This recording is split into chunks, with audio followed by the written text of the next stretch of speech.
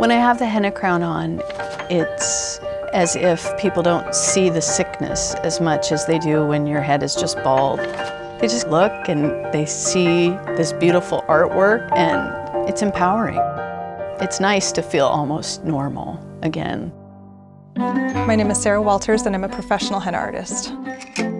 The term henna crown is being used to describe intricate henna designs that are applied to the scalp following hair loss, um, typically. So usually people will refer to henna crowns as being applied to people who've gone through chemotherapy.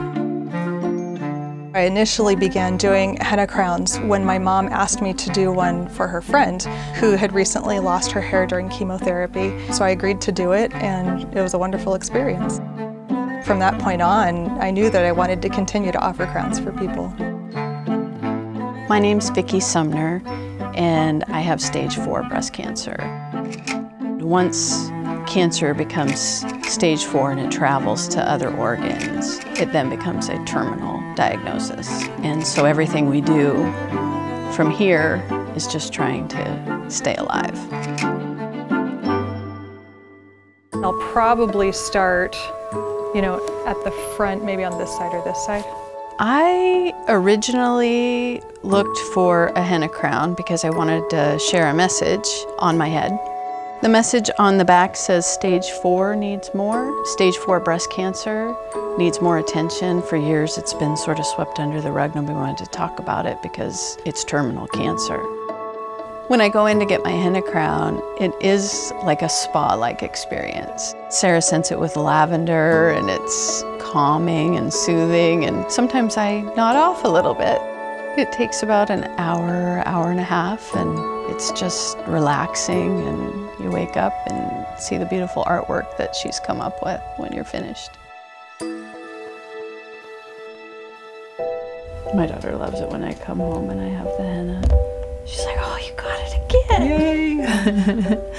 I think that everyone is beautiful in their own way. And I can see the beauty in these people that come to me wanting a crown because they're displaying a lot of strength and resilience and fight.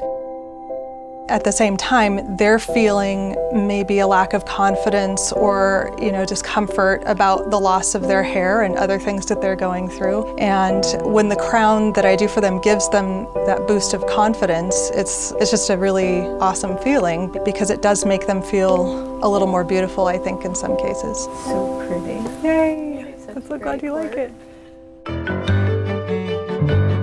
I always believe that we should try to make other people smile during the day and that we should always do something kind for the people around us.